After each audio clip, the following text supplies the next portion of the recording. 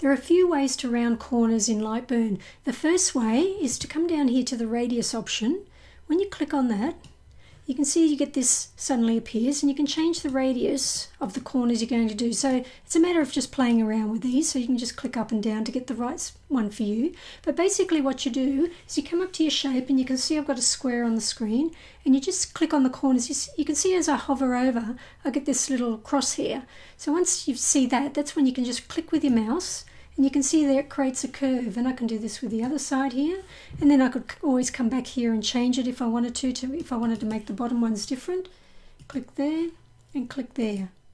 Another way to create corners is to come over here to the shape properties option. You can see this tab here. Now if you don't see it it's probably because you haven't got it selected so all you need to do is come up to window scroll down and make sure it's selected here. Then all you need to do is click on it and you see this option corner radius. And all you need to do really is click on the up arrow and you watch the square. You see the edges change? And of course you can type over this to create a specific radius but otherwise just click click on the up arrow and it creates the rounded corners for you. And one more way that you can create rounded corners is to use the offset tool. Now you may not really use this one very often, but it's there if you need it.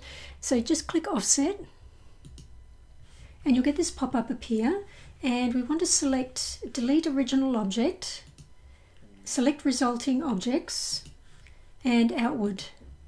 And we also want round. And you can see we get rounded edges here. And again, you can just change this to make it bigger, the offset distance. And we go OK. And there we go. So thank you for watching. And if you enjoyed this tutorial, please give us a thumbs up and don't forget to subscribe for more.